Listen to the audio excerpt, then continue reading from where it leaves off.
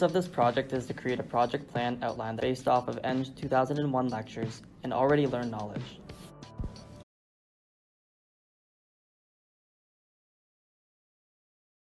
Property is a work or invention that's a result of creativity such as a manuscript or a design, to which one has rights and for which one may apply for a patent, copyright, trademark, etc. Getting your intellectual property stolen is the worst thing that can happen for your company and one of the best ways to prevent this is with our smart card.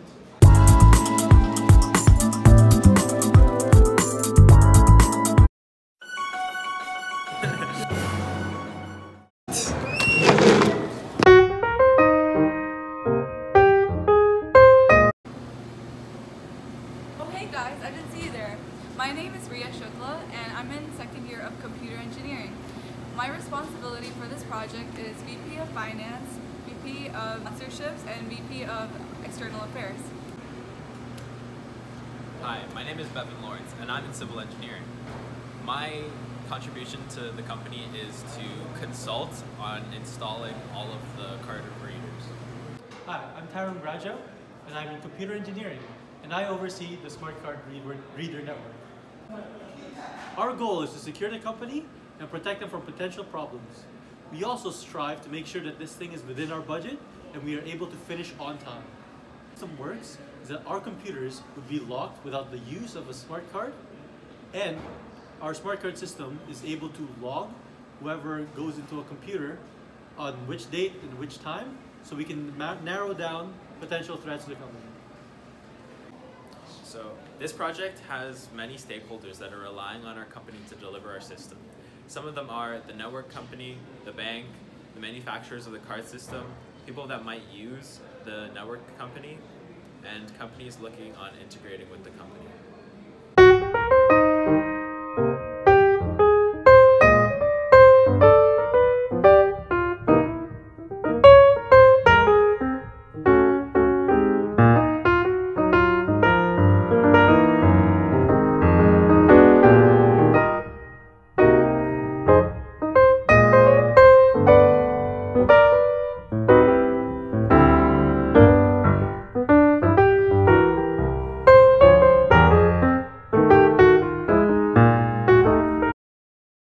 This is our risk matrix for the installation of a card reader. Here we list the possible risks that can occur and sort them by how likely they are and how impactful they are. At low likelihood and minor impact, we have the card reader won't work. If this happens, we will check if the reader is damaged and replace it if necessary.